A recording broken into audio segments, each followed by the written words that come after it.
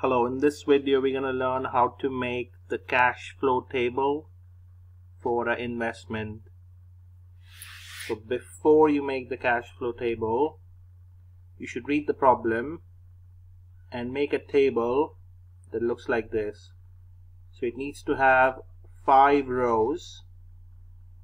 The first one is time, the second one is revenue, then cost, extra cost, and profit and you should have as many columns as the problem says the investment time is.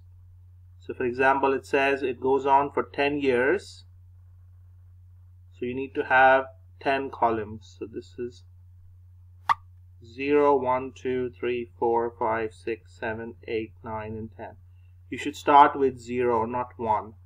So just make a note. Start with 0, 1 and what you should do is just put 0 1 then select these two. Go to the side and then just drag it. Excel will automatically do this for you. So you don't have to type 0 1 2 all the way up till 10 okay then your revenue is the income that you generate. But in the zeroth column for revenue, you should put the money that you're going to invest. So the first investment is to purchase another company for 500,000. So in here, you should put 500,000, but it should be negative because this is the money you are putting in. This should be negative 500,000. Okay, then you should read the next line. The cash generated by the company is 80,000 in year one. So this is 80,000 in year one. And that increases by 1.5% per year. So in this column, you should do equals this times if it increases by 1.5% what should be the formula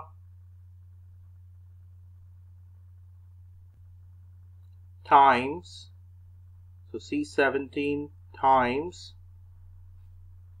1.5 percent plus the C17 so this should be the formula if it's increasing by 1.5 percent. If it was increasing by 2 percent in here you would put 2 percent and put enter. So this one becomes that at the end of year 2 then all you have to do is just drag it to the end okay then at the end you can do the two decimal places but for now you can leave it. Now the first thing in the cost should be left blank. So leave these two cells blank. And start the cost at the end of the first year. So that was the cost for the first year. The cash outgoings will be the cost.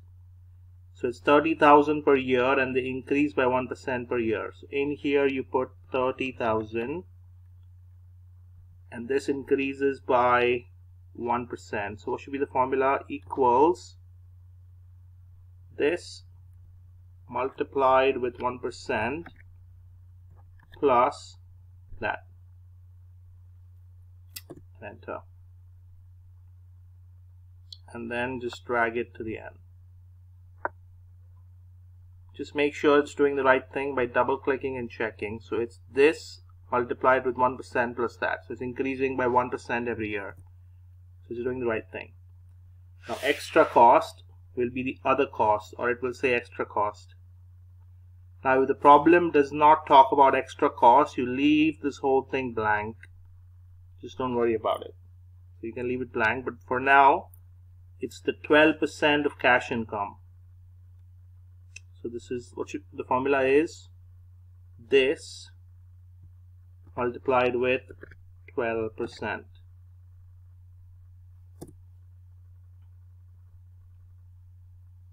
And then just drag it to the end. So this is your extra cost and the profit for the and the formula for the profit is always the revenue minus the sum of the cost. It should be this cell minus this plus that. And enter. And then just drag it to the end.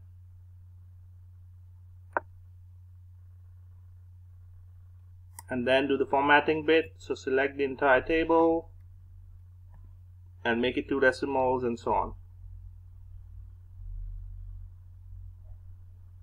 So this is how you make your entire cash flow table. Any questions type in below and I will answer that